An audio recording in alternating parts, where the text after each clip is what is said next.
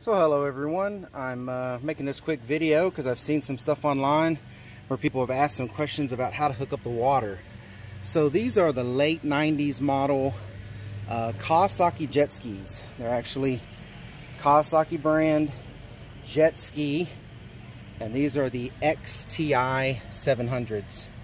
We have, uh, we have two of them and here's the twin carb 750 so I was wrong about the 700 they're 750s they are Kawasaki Jet Ski XTI 750s um, but basically I wanted to show where you hook up the water if you want to run the engine on land. So if you don't have water like in this instance uh, you can see I got some jumper cables connected here. I've got them connected to a 12 volt car battery and I've taken my battery out. Um, the battery on this one was going dead and I just wanted to make sure uh, that it was the battery. I've got the battery on a charger and uh, I'm just uh, verifying that the battery is dead. Most likely it is because that battery's been in here for quite many years. But anyway, so I think I have a dead battery on it. But to crank it, I just put it on some jumper cables and uh, put it on a 12 volt battery. But um, so basically here's the engine and uh, here's the exhaust manifold and the way these two strokes work is uh, water is pumped in and it's spit out through the exhaust manifold but it is it's sucked in through the bottom. But this hose right here as you can see it connects to the top of the motor here. This hose right here is what moves the water through the engine and then is it's expelled out the exhaust manifold and then it spits out the exhaust. So um, that's what keeps it quieter when it's in the water. But the purpose of this video is to show you where you hook up your water. So in this, on these specific jet skis we have, we didn't add this kit. This was something that was already on, um, on these jet skis. And basically there is a uh, nozzle here. So you take, you loosen this, uh, this pipe clamp and uh, pull it up a little bit. And then there's a little, a little clasp here, little rubber clasp portion of that. Anyways, you undo that, you pull this off, and you've got this nozzle. Um, so this, as you can see, I, I, cranked it up just a minute ago, but it's smoking a little bit. That's from the exhaust. But that is where you would put your water hose fitting. Now you can buy a kit, uh, I think from Kawasaki.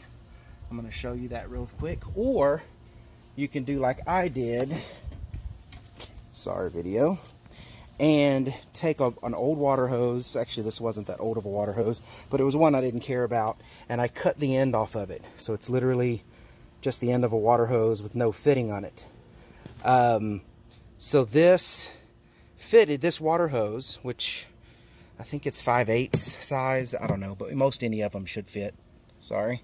Most any of them should fit. So you take this end of the water hose you cut off, you push it over the nozzle there. You can put a pipe clamp on it if you want, but this size hose fits on there very well, and I can turn the water hose all the way up and it doesn't squirt it off. But basically, there's where your water hookup is. Um, if you have this port, this uh, this fitting. Now, I've heard some people don't have this fitting where it has the auxiliary port on it, uh, and if it doesn't, then this would just be a straight in fitting here and then the water going in. You would have to take this off here and put this kind of fitting.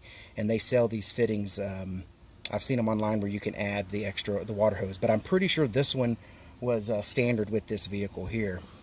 Now the other tip is is you don't want to turn the water on before you crank it. There is supposedly on these 90s models jet skis and I don't know if it would specifically affect this one but supposedly on the older jet skis is if you turn the water on before you crank the motor that you could actually push water back into the engine and it would go into some places or something where water doesn't supposed to be. I don't know 100% why that is. I just have heard don't do it.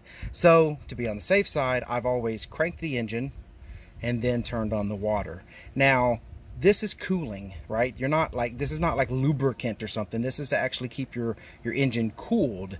So it's not a problem to crank it and run it for a couple seconds. Your, in, your engine's not gonna go from you know 70 degrees or 80 degrees whatever it is outside automatically to 250 degrees within a second you know it's going to take a little bit of time to get that hot so you have enough time to crank the engine let it idle for a second and then go kick the water on Uh, now, I've always put the water on pretty much full blast. I don't think that's a problem.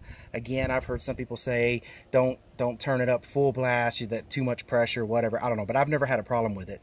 Um, but you may want to look into that. But the main purpose of this video was to show people, hey, this is where you connect it. And if you don't have this fitting that already has something blocking it off, right? This has to be on there to keep water from spraying out crazy inside of your engine compartment. But if you don't have something that already has a fitting like this, then you're going to need to find some kind of fitting like this uh, you probably would have just a straight fitting or an elbow fitting to go with this hose, which would push the water through the exhaust. But you, you need to add uh, some kind of auxiliary uh, port like this to do the water.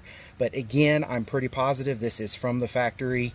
I could be wrong. Uh, we are the second owners, but we bought these jet skis um, from the first owner, and you know they we've had them for quite a while. So, um, you know, I don't I don't I don't think he put that on there. Honestly, knowing the first owner, I couldn't imagine him putting that on there unless he paid somebody to do it. So anyways, uh, that's just it. That's, like I said, these are 90s model. I think these are 97 or 98s. Heck, they could be 99s for all I know, but something like that.